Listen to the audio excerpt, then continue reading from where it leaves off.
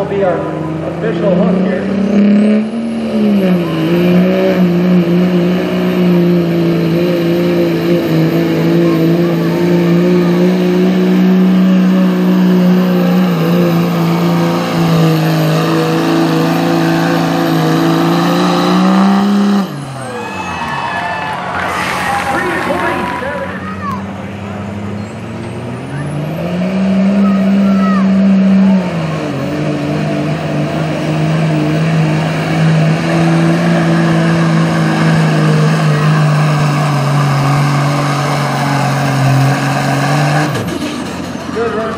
Run. Gonna put him second place. Joe Bader of Marshall. Ooh, have a there.